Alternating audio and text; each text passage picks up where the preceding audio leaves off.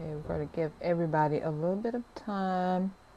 You know how Facebook always says they need to go out there and and gather everybody. Yeah, you're live. We're building the audience for you. Okay, I'm not going to stay on here long. So, hello everyone.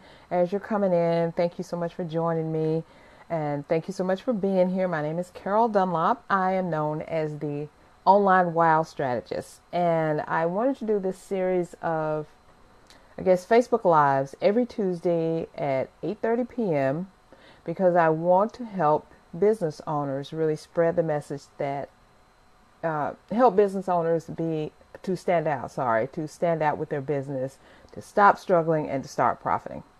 That's actually the name of my book that's coming out in March. So every Tuesday you'll see me here at 8:30 and I hope that you will join me. Please tell your friends and we'll build that audience up, start a movement, all that great stuff so that I can help businesses to be profitable, to be successful, to do the things that they need to do, whether you know you need to do it or not.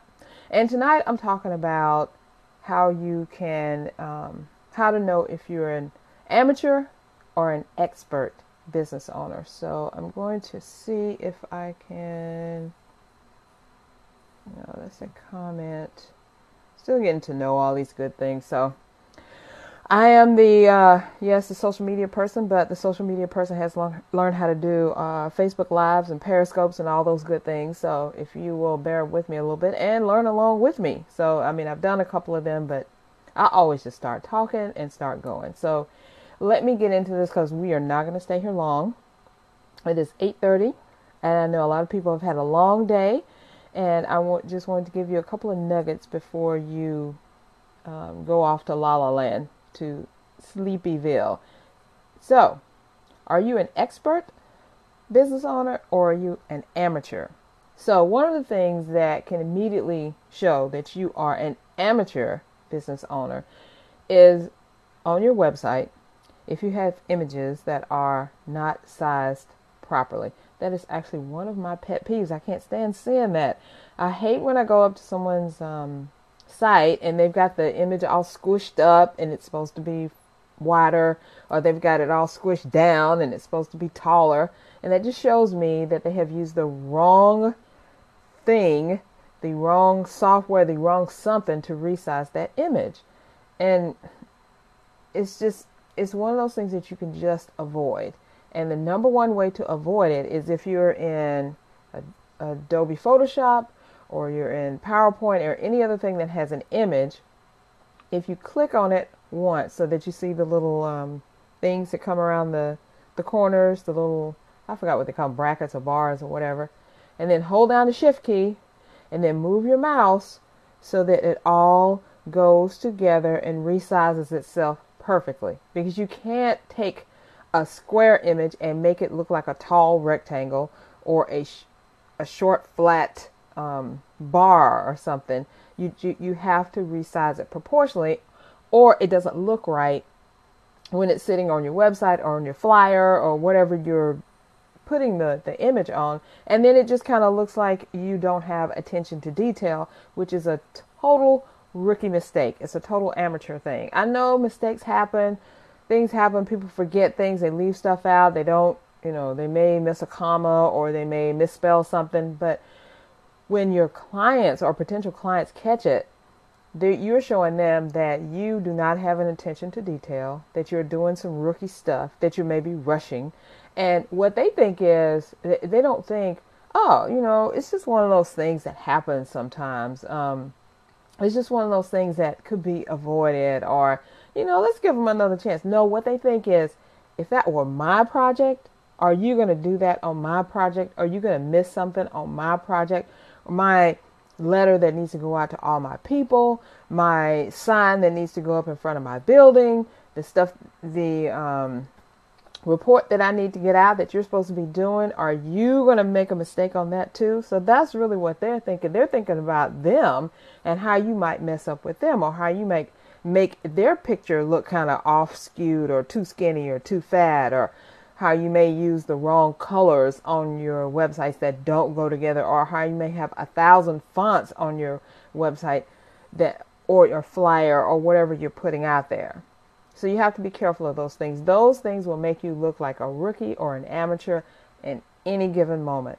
Or my other thing about images that I re- that really ticks me off when I see it is if someone has an image that they put on a color background. It can be any color, green, purple, orange, I don't care. And they put an image on there and the, you can see like the little white that is making a border around the image where the image is supposed to just lie flat there and you're not supposed to see that white.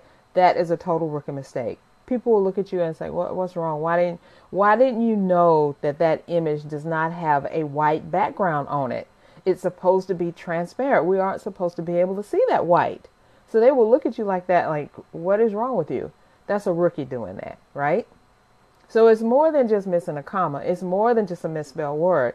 It's the things, the the images and how you present. It's the visual stuff that people look at when they are trying to see if they want to hire you to do their work for them. If they want to hire you to create something for them or to do a report, to write something up, I mean, it's any number of things. They always look at, you know, if if they treat this work this way for themselves, how are they going to treat the work for me? Because everybody knows that you love your work better than anybody else's work in the world because you're like, I am the bomb.com.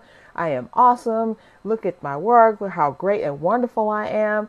So if you make mistakes on that, or if you don't, uh, if you leave out things, if you put the wrong colors together, and wrong colors, I'm saying like if you have a um, a bright red and then you put a bright orange and then maybe you stick a little blue in there and some green. That's too many colors. Come on, you don't need all those many colors anyway. Unless you got a Rubik's cube going or something. If you and if Rubik's cube is your is your image, that's what you want to portray. Then good for you. But your Rubik's cube is only in the cube itself. It's not over the whole page. It's not in the top bar. It's not at the bottom.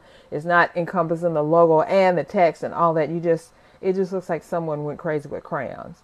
So that's another rookie thing that happens. People just go crazy with these colors. They think that, oh, I want to look. I, I just, I just want it to be vibrant and alive. Well, it can be vibrant and alive without having a hundred thousand colors in it. It can be vibrant and alive and look good and professional without having fifty thousand fonts. You can't have that many fonts on a page. That many different ways to, you know, write five different sentences and it's five different fonts. You just can't have that. It just what happens is you may not know that something's wrong. You, meaning you who are not the graphic designer or the um, the web designer or designer, period, but you know that something doesn't look right. Something is out of place. So if your mind is telling you that something's out of place, then inside intrinsically you know that something is wrong, and you're like, mm, I don't quite like that. I don't know why, type of thing. You may not know what it is, but you know something is wrong, and people can feel that sometimes you see something where you just it just hits you the wrong way and you're like what what is going on? So that's how you know that the, these are rookie mistakes that you make that people make and they and they look at you as a as a beginning uh, business as one that doesn't quite fit the bill for what uh, they want you to do. And so they won't look at you as an established experienced business owner who says hey, I can do this and I can do this the right way and I can make you proud of the work that I'm doing for you and you're going to look awesome because that's really what everybody wants. They just want their work they they want what they present to the world to come across looking totally awesome, more awesome than anything else in the world could ever look. And that's what you want to present to people about your own stuff. Now, I'm not even talking about client stuff. I'm talking about your own things, your own website, your own marketing materials, your own logo, your own everything. And if you, meaning you, who's listening right now, if you are not a designer or a web designer or a graphic designer or a logo designer or a copywriter, do not do those things. Because why? If you are not a professional copywriter, then don't write your own copy. Get somebody else to do it. Pay somebody to do it. Because I'm telling you, if your stuff comes across looking amateurish or just like mm, doesn't sound right or it doesn't make sense to the person who's reading it, they're going to look at you as a rookie or an amateur and they're not going to come to you for what they intended to. They're not going to give you their business. Or they're going to come to you and the business that you do get, they're going to want you to discount it so much you're going to you're going to wish that that person never even found you. So if you don't do these things, if you're not an expert designer, if you're not an expert copywriter, if you're not an expert uh, web person, then don't try to do it yourself. It will take you so long to get those things done the right way that you might as well have paid for it in the first place and got it done by someone else and invested that money. And now you can, all that time that you saved, you can really concentrate on what you do, what makes you the awesome sauce person that you are, the awesome sauce business person that you are, and make that shine out for your clients instead of trying to fool with something that you don't know about.